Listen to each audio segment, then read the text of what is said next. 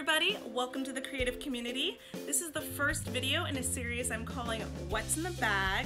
And in this video, I'm going to share with you eight tips that I think will help you out at an upcoming convention if you're staying one to two nights. So without further ado, let's get to it.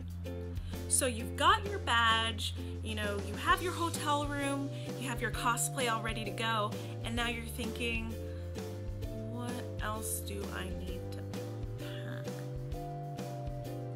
Eddie, do you know?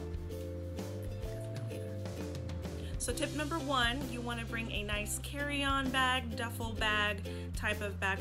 You're not going to the Himalayas for 40 days and 40 nights. Keep it tight, keep it simple, and don't get crazy.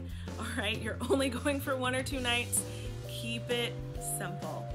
Um, tip number two, I would suggest that you do is bring a change of normal clothes because if you're arriving to the convention all dressed up in your cosplay, it's gonna look awesome. But once you chill with your friends later or go get something to eat, you'll wanna get out of that and into something comfortable. I've made that mistake, you're better than me, I believe in you, don't do that.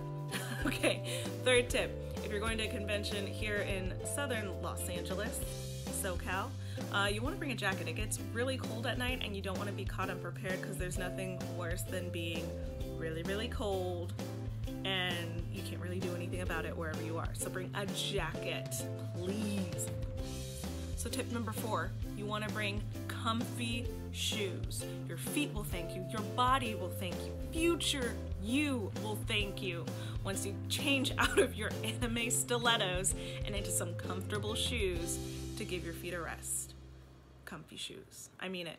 Bring them.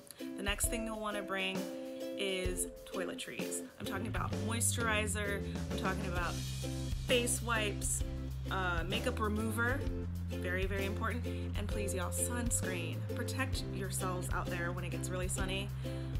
Sunscreen. It's very, very important, okay? All right, so tip number six, you wanna make sure that you bring some kind of hair product.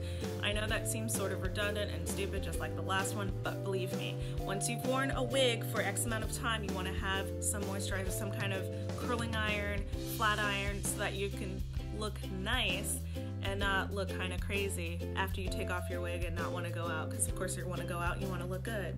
So take care of your hair take care of yourself. So tip number seven is a con bag. Now I'll go more in detail into what I mean by that in the next video but essentially it's a bag that you take with you to the convention that has water snacks.